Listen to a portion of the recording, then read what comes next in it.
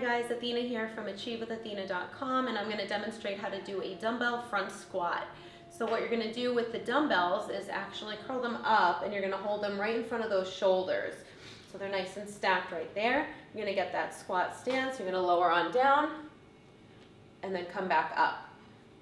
So same as your other squat variations, you want to keep that chest tall, prevent the lower back from arching, lower down and up. Side view, down, up, down, and up. And that is your dumbbell front squat.